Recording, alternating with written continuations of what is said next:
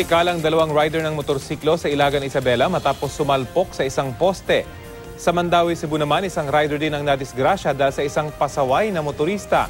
Yan at iba pa sa balitang probinsyang hatid ni Bam Alegre.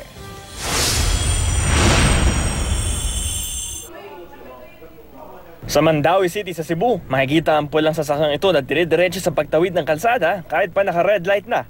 Dahil dito, sumalpok sa sasakyan ng isang motorcycle rider na patawid ng kalsada mula sa kabilang bahagi. Paharap na natumba ang rider dahil sa pagkakabangga. Di diretso pa sana ang kotse pero kalaunan huminto rin. Kinailangan namang lapatan ng pangunang lunas ang rider na nagtamo ng mga sugat.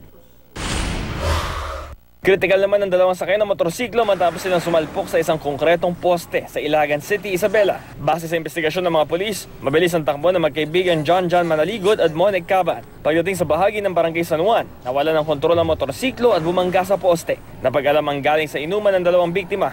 Patuloy sila inoobserbahan sa ospital. Pinaghahanap na ngayon ng mga tauhan ng City Veterinary Office ng Cotabato City ang isang asong ulol na gumagala sa lungsod. Base sa impormasyong nakuha ng GMA News nito nakaraang linggo, sampung tao ang sunod-sunod na isinugo sa ospital dahil sa kagat ng aso. Sa nakuha deskripsyon ng Veterinary Office, isang brown na aso nasa likod ng pangagat. Kapag nahuli, posibleng patayin na ito, lalo na kung walang kukuhang may-ari.